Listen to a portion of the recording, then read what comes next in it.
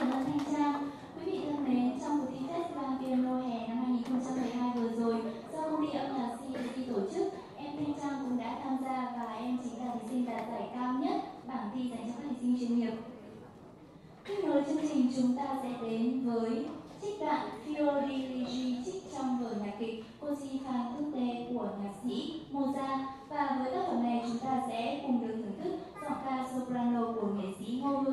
và phần piano của nghệ sĩ Đào Hưng Lê.